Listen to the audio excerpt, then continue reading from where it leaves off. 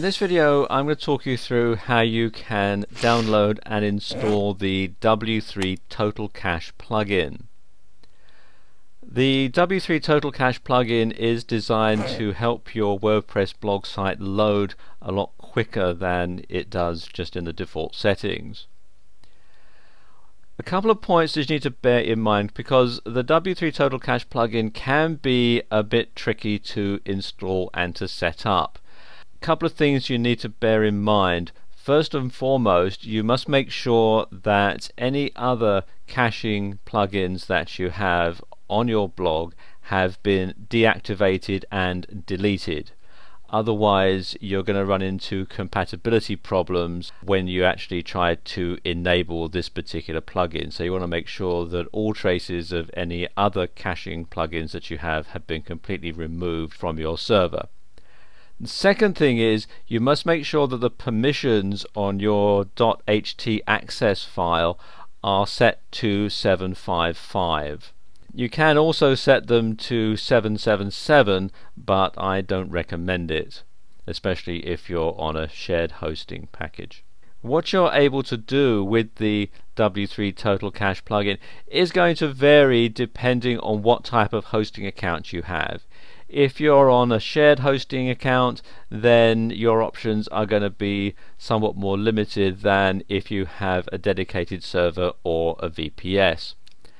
I'm on shared hosting and so I'm going to talk you through the settings for those in this video. Okay, let's go over to the dashboard and come down to plugins and add new. And I'm going to search for the W3 total cache.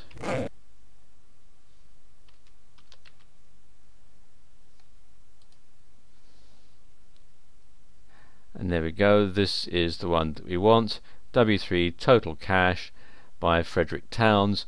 And at the time that I'm making this video the current version is 0.9.2.4 okay click on install now and then click on OK. And there we go. That's installed. Now click here to activate the plugin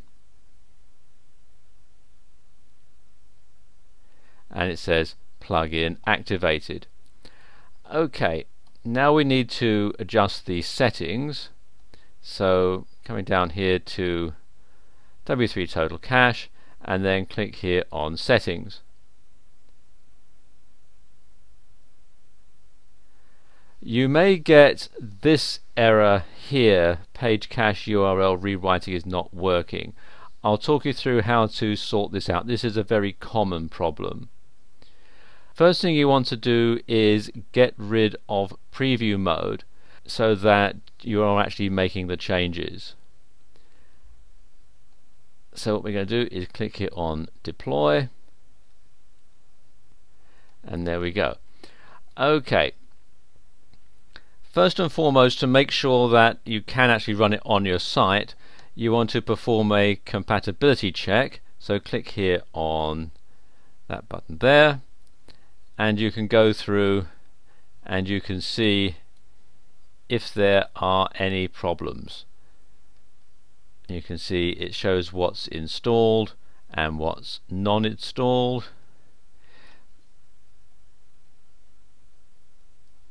And so on and you're going to need to perhaps get in touch with your web hosting company if there's something vital that's not been installed on there. Okay, so we'll click on close. Now on page cache you will find that the default setting is disk enhanced if you're on a shared hosting package if you're on a dedicated or virtual server you can see there are some other options available.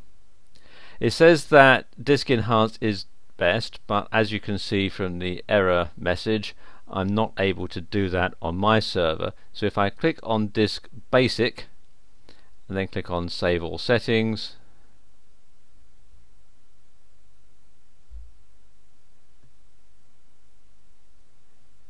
There we go, you can see that error message has gone away now.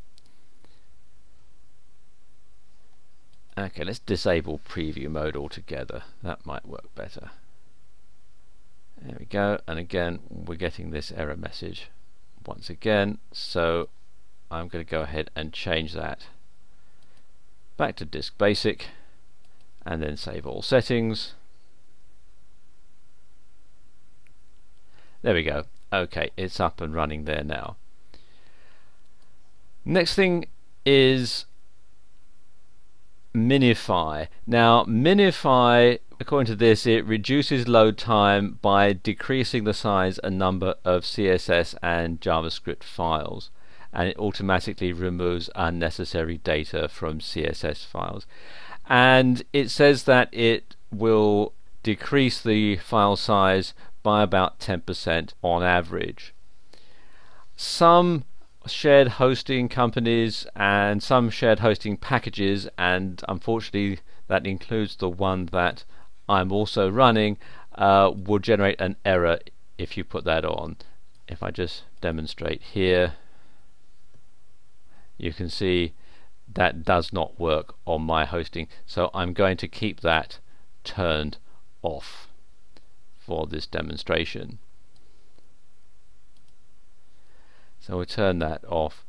Um, if you are able to use Minify, then the default settings are perfectly adequate.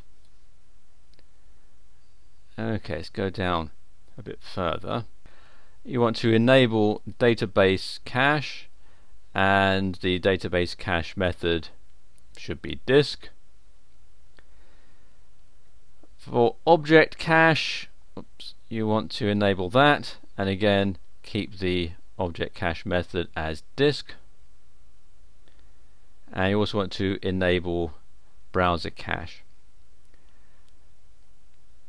CDN I'm not using on this particular account. I don't have an account set up with uh, a CDN provider uh, content distribution network provider. If you do then you will have an account with them and then what you can do let's just uh, save the settings for a moment and I'll show you in the more detailed uh, settings.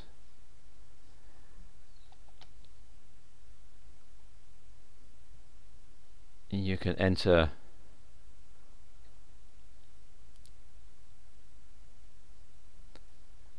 all the information about your uh, host attachments and so on in here. But as I don't have that I'm not going to cover that in this video. Let's go back to general settings again.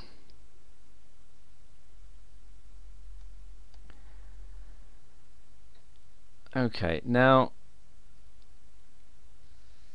go a bit further. Varnish I'm not going to use although if you do have a uh, Varnish server you would enter the IP addresses in there. If you have Cloudflare then you enter all the information and the API key and so on in here and so on. Under miscellaneous the default settings are fine. If you're on shared hosting I wouldn't enable file locking and all the others are all okay. Make sure that debug modes is off so that none none of these are selected. And if you have it set up on one blog what you can do is import and export the configuration so that you can upload it easily onto your next blog. So you don't have to set this up manually every time on every single blog that you have. So I'm going to save all settings.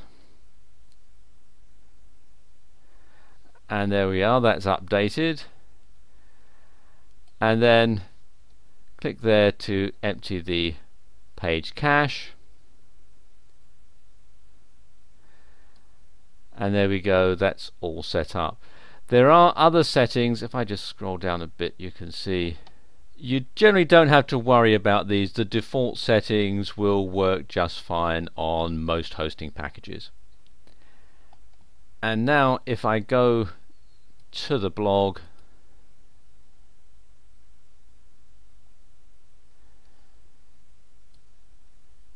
you can see that's all set up. Now if I just log out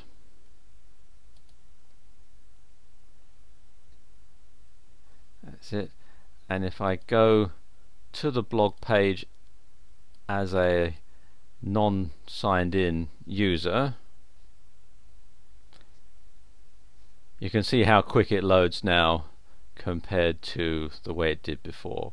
So there you go, that's how you can install and configure the W3 Cache plugin. We're going up, up, up, and up, up, up. We're going